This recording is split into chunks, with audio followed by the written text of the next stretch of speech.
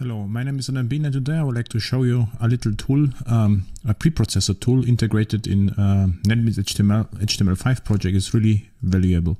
So um, let's start with uh, uh, HTML5 project without a template, without a library, just a plain tool. And uh, then I would like to configure the project. And as you can see, um, there's a pre-configured CSS preprocessor option, and I would like to use Sass and say compile and save. And uh, what it means you will see in a second. So um, what I need, I need actually one folder called SCSS.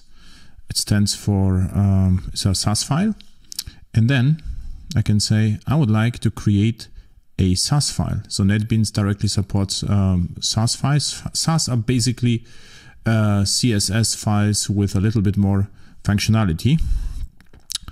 Uh, I call the style. And as you can see, you have a basic uh, Sass file. And now we would like to set up, for instance, a section element, um, configure a section element and see the color is going to be red, let's say, and div uh, color is also red. So and now we have the problem that we have the red color in, uh, in two places. So the solution is not dry. And of course, uh, red uh, would be, uh, it is actually fairly easy. It's a basic uh, color, but usually you have to uh, use the, you know, um, color colors from, from your company's um, corporate identity palette. Um, so what you can do with Sass, I could say actually I can set up and say, uh, uh, let's say airhacks red, and it's going to be a beautiful red. So, and this is actually not um, not uh, CSS. This is a Sass capability of using variables. And what's nice here, we can, NetBeans is aware of this, so I can actually get a code completion here.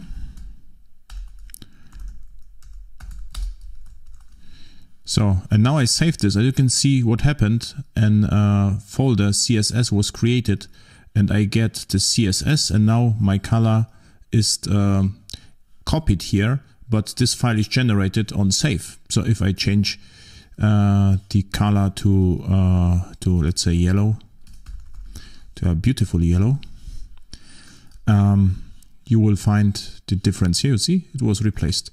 So I think uh, this is uh, incredibly valuable for larger projects because otherwise you will have to work with find and replace in um, multiple files. And Sass and Less both is supported uh, in NetBeans, so I use primarily Sass. Helps you to um, to organize or to organize uh, CSS better or actually make it more maintainable.